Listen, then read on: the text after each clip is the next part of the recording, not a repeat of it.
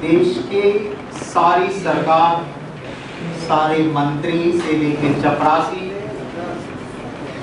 RSS के सामने घुटना टेकते देखे, और अभी प्रधानमंत्री जी भी वही भागवत की पाठशाला में जा रहे हैं। ये साबित कर दिया आरएसएस ने कि आरएसएस, इसका असली मतलब है राष्ट्र की सुप्रीम सरकार। ये राष्ट्र की सुप्रीम सरकार है। ये साबित करने के लिए तीन दिन की यहाँ पे शिविर लगाई। प्रधानमंत्री लोकशाही के सबसे बड़े मंदिर पार्लियामेंट में तो हाजिरी देते नहीं है। पर आज भागवत की पाठशाला में वो पहुँचे। अच्छा होता। वहाँ जाने से पहले आज राष्ट्रपति जी ने भी बच्चों को कुछ पढ़ाया था। अगर वो पाठशाला में प्रधानमंत्री पहले जाते तो कुछ सीख के वहाँ भी कुछ मैं मानता हूँ कि वो सिखा सकते थे। आज जो बार बार आरएसएस और बीजेपी कहती है कि 60 साल में क्या किया और इस देश की जनता को जो गुमराह करने की कोशिश करते थे, उसकी सही शिक्षा अगर आज राष्ट्रपति जी की पाठशाला में वो जाते तो मिल जाते। आज राष्ट्रपति जी ने कहा कि देश आज़ाद हुआ तब 50 मैट्रिक टन से भी ज़्यादा 50 मैट्रिक टन से भी कम फ्रूट के हमारे वहाँ धान पैदा होता था। 50 million 50 million ton 50 million ton sorry और 2013 उन्होंने 2013 का आंकड़ा दिया है। 2013 में 265 मिलियन टन फ़ूड ग्रेन इस देश में पैदा होता है। Steel production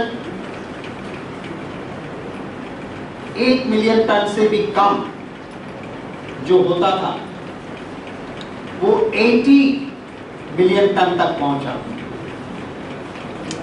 cement production 2.2 million ton 1951 में इस देश में होता था पैदा आज सीमेंट के प्रोडक्शन में, दुनिया में दूसरे नंबर पर अगर कोई देश है तो हमारा देश। नेहरू जी, नरसिम्हा राव जी, मनमोहन सिंह जी, इन सभी का जो योगदान रहा है, और कितनी तरक्की इस देश ने कैसे की वो अगर आज प्रधानमंत्री वहाँ जाते तो उनको इस पाठशाला से ज़रूर कुछ सच्ची और अच्छी बातें सीखने को मिली।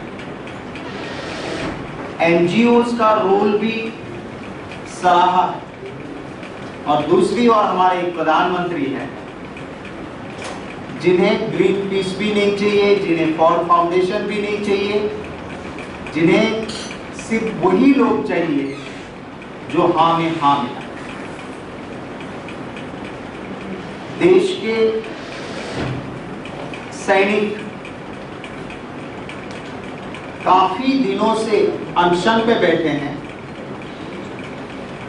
उनके लिए तो ये कुछ बोलते नहीं, ना उनकी कुछ सुनते हैं।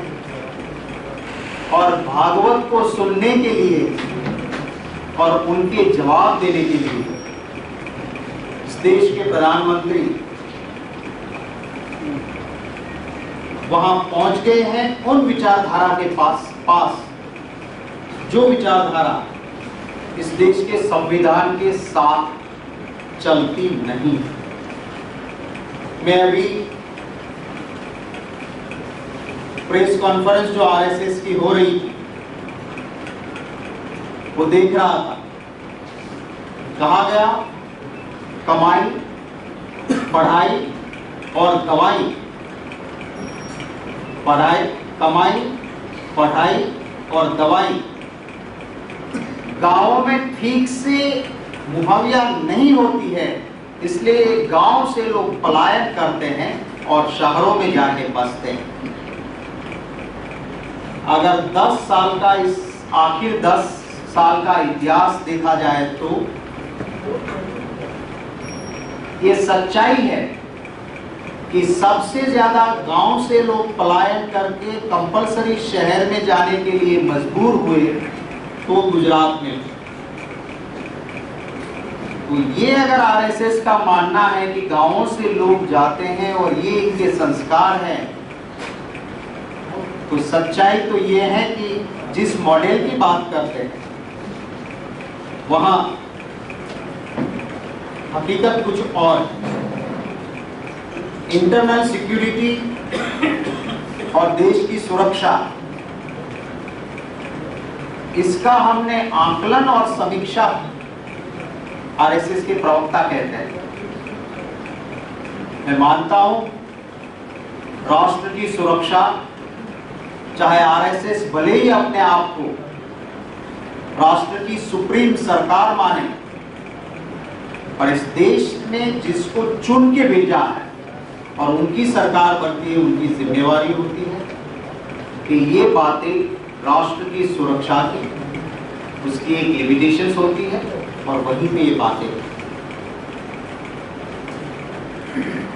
डेवलपमेंट मॉडल की भी बात आज आरएसएस जो कर रहा है, और मोदी का डेवलपमेंट मॉडल वो ईस्ट एंड वेस्ट है। ये कहते कुछ है, करते कुछ है, और है, और होता कुछ और। है